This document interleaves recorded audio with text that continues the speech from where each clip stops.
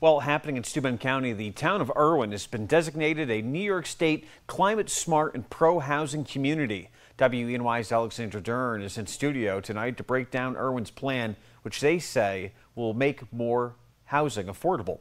Alexandra? Nick, officials of the town of Erwin say they are committed to fostering affordable, accessible, and diverse housing options for everyone in the community. This call to action is part of Governor Kathy Hochul's executive order that was signed last July to initiate the Pro Housing Program. And the program aims to push communities around the Empire State to adopt progressive housing policies. Erwin's deputy town manager says the town is diving into this initiative head on with plans to make Erwin a home to inclusive housing developments. The town of Erwin is looking to to look into the downtown revitalization initiative and do an application likely in 2025.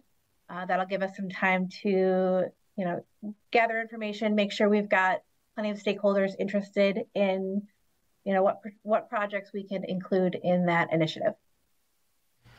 Now that the town has been designated as a pro housing community, Erwin is in a better position to secure financial support for creating affordable housing, neighborhood revitalization projects, and infrastructure improvements. Nick.